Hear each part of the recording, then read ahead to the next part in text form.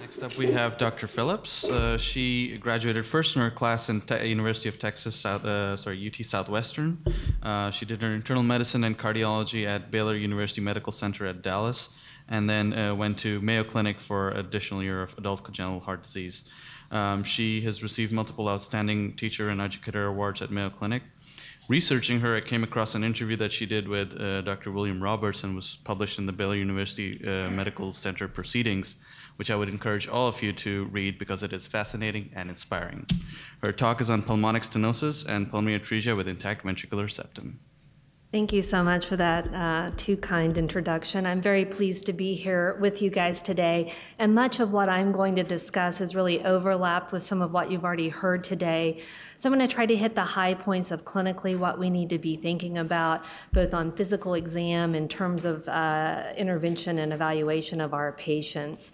Um, so I have no uh, disclosures. So let's just start with pulmonary valve stenosis, a much simpler lesion than what we've heard about in the last two or three talks, but quite important to us and, and often something we will see in our adult patients. And just to kind of think about the natural history, uh, adding this lesion of pulmonary valve stenosis will increase RV afterload, which will cause progressive RV pressure hypertrophy. And we don't really like that. I mean, the RV is supposed to be a compliant, volume sensitive chamber. So this becomes quite important to our adult patient population to get RV diastolic dysfunction from pressure hypertrophy.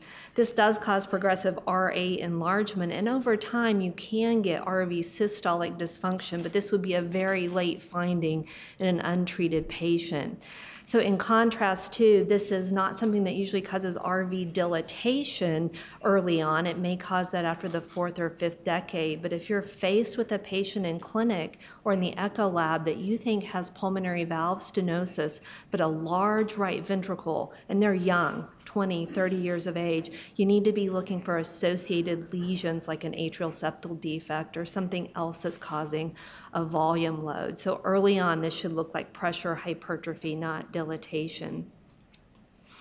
So patients are going to complain to us about decreased exercise capacity. They're not able to meet the demands of increased cardiac output. They may have right-sided heart failure symptoms, but this could be a very late finding. So we don't want to say, well, you don't have significant disease if you're not having big elephant tree trunk legs. They can uh, very much complain about this. And many times patients will talk about more splanchnic congestion early before they talk about uh, lower extremity edema, so keep that in mind.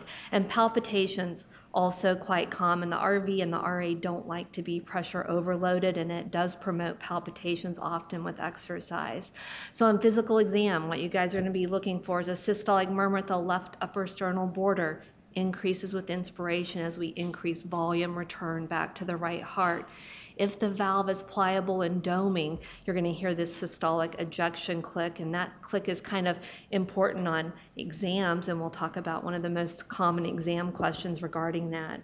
The parasternal impulse will be prominent. This is a pressure loaded ventricle, and just like we think about pressure load and non compliance, an S4 can be audible uh, delayed P2, so we're taking it longer to push blood across this stenotic outflow, so the closure of that pulmonary valve is delayed, so the split is increased. That's going to help you distinguish this from, say, aortic stenosis, because sometimes the murmurs are loud and it's all over the sternum and all over the precordium. This will help you out can also look at the jugular vein. So if the patient is in sinus rhythm and they're having a lot of non-compliance issues as they try to push blood into this non-compliant right ventricle, the A wave will get very prominent. And you'll see that in your jugular veins. So, just as a, a, reminder, as we get worsening pulmonary valvular stenosis, a worsening gradient between the RV and the PA, we're going to see uh, a lengthening of the murmur. So, the murmur will be crescendo, decrescendo when it's uh, mild or moderate, but as we get to severe stenosis, you're just going to have this crescendo component. So, keep that in mind.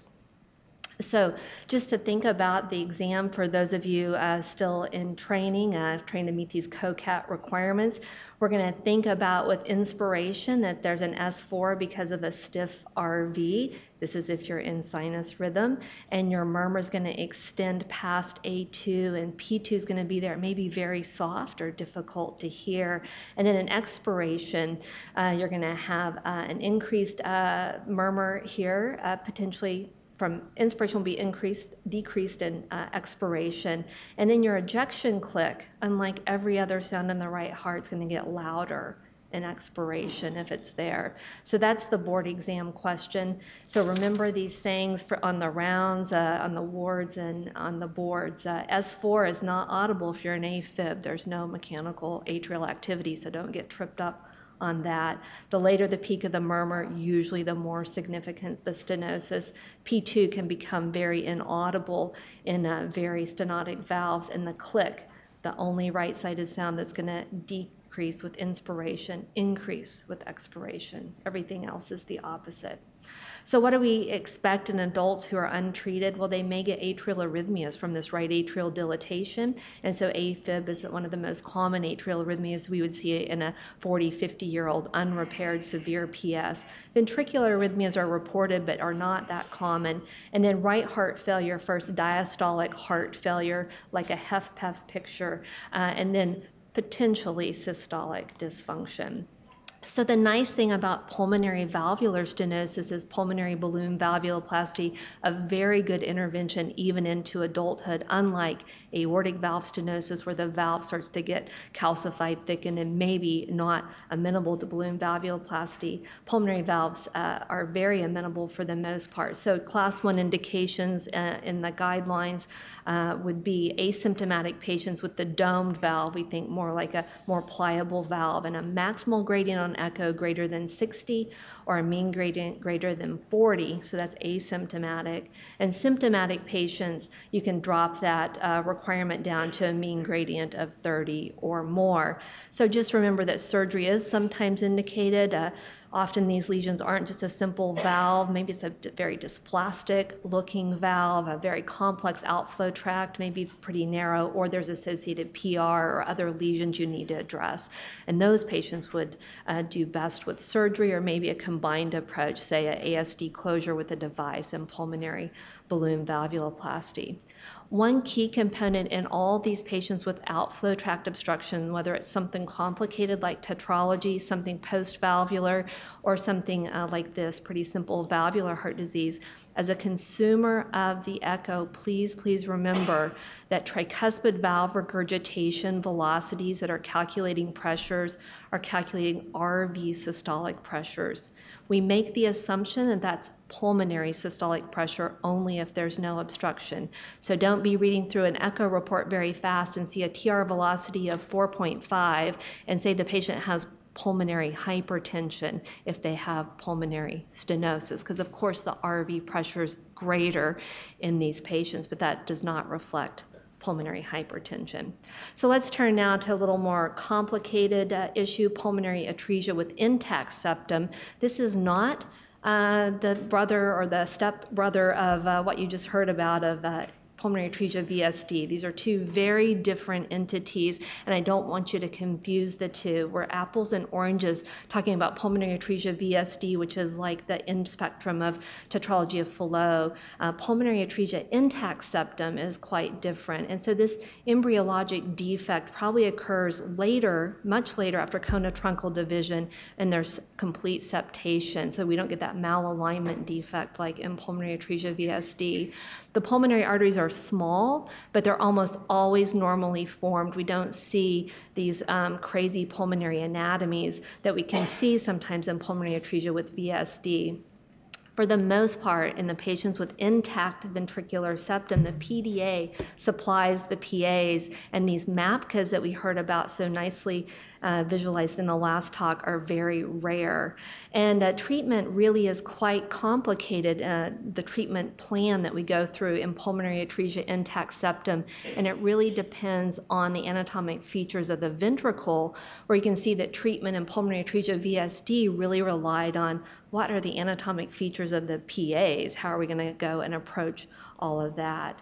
So this is pretty rare. Um, 0.083 per 1,000 uh, live births. Again, a slight male predominance. You're going to look for diminished RV forces and LVH on the chest, on the EKG, and the chest X-ray usually is not going to have much cardiac enlargement, with the exception of this rare uh, malformed tricuspid valve that has a lot of regurgitation that can cause uh, enlargement of the right heart, which is unusual. Uh, so tricuspid valve anatomy is going to be super important in childhood and the pediatric groups deciding what they're going to do and how they're going to approach this patient. For us as adult congenital uh, providers, that decision's already going to be been made. They're going to come to us as with a, a, terminal plan of action for how they're going to be repaired. But but our colleagues are really looking at this Z-score, the tricuspid annulus. That's going to determine really how the RV is behaving, and it has a lot to do with if the RV has uh, dependent, uh, the coronary flow is dependent on the RV which we'll talk about. So, what, what do I mean? What does the RV look like? We're really wondering is the RV pretty normally formed with the three tripartite? Does it have an inflow, an outflow that's well formed, and a, and a, a, a septal branch? Is it there and it's just with a small annulus that's imperforate valve? That's a whole different approach. This, this, this is a normal ventricle with a little outflow. That's very different than this guy. These are both pulmonary atresia with intact septum patients, but this is a very small tricuspid annulus. The, the ventricular anatomy does not look tripartite, and you have this uh, obliteration of the infundibulum with this thick muscular. These guys are usually in trouble and may not be able to go to a biventricular repair, most likely. So, what is the management strategy briefly in childhood? Well, the first and foremost, you've got to maintain a source of pulmonary blood flow, just in like the other cases we heard about. And prostaglandins are important, and maybe now stenting of the duct to keep that flow open. Then you've got to make a decision if you're going to try to decompress the RV. Are you going to try to open the outflow in some way? And maybe that's if you have this uh, valve, this membrane that, membrane that you could perforate with radio frequency. Uh, uh, catheter. Sometimes folks have talked about atrial septostomy, but you're not going to decompress the RV if you think the coronary flow was dependent on RV high pressure, and we'll get into that. Uh, we want to eventually provide a stable source of pulmonary blood flow. The team has to decide how to do that, and that may be some type of uh, shunting procedure, aortopulmonary shunt. And then you decide the path that you think the patient best can go down. Can they have a two ventricle repair? Do they need one and a half ventricle? Do they need a Glenn plus an open outflow? Or do they need a Fontan? Or should we just leave them with like a BT shunt? That's relatively rare. So these paths have already been picked by the time they come to us in adult congenital heart disease clinic. Um, but this coronary anatomy is critical. I want you to understand this uh, fact about why some patients are not decompressed. So RV to coronary fistula are common in this condition, and that's you know, maybe up to 70% of the cases or so. And these are embryologic channels that persist connecting the RV cavity to the coronary tree because of this high RV pressure that forces blood into them. But that doesn't mean the anatomy or the coronary flow is dependent on the RV pressure. So, but what if the coronary anatomy is really abnormal? That from the aorta to the coronary tree, there's obstructions, uh, maybe even atresia of the coronary connection to the aorta. Well, then the coronary blood flow is dependent on that high pressure in the RV to push blood into through these sinusoids, into these fistulae into the coronary arteries. And those are the patients that you don't want to decompress. You drop the high RV pressure and they're not going to perfuse their coronary. So those patients need to go to a single ventricle approach. So what happens for us, adults who, we're, this is what we're seeing, the patient's already been chosen a pathway. They're either a biventricular one and a half or a Fontan for the most part. What do they look like in adulthood? And we do have a, a small series at the Mayo Clinic, uh, 20 adult patients that we found in our clinic with pulmonary atresia intact septum that we followed uh, from 1998. We picked them up in clinic in that time period. All patients had initially been given some type of aorto to pulmonary shunt for their blood flow, and then their median age of when we saw them um, was 29 years. There was five deaths in the group at an age of 32 years, and you see that most patients had a biventricular uh, repair, uh, but quite a few have a univentricular approach. They all needed us to do something more for them in adulthood. So they did not escape with their initial repair or initial palliation strategy and not need more help. So they needed more procedures, and one poor patient had seven procedures, and uh, many of these procedures involved repair or replacement of the tricuspid valve or intervention on your RV outflow tract. That makes sense, though some patients actually needed mitral evaluation and repair. Arrhythmia is very common, both atrial, most likely, but even ventricular arrhythmias.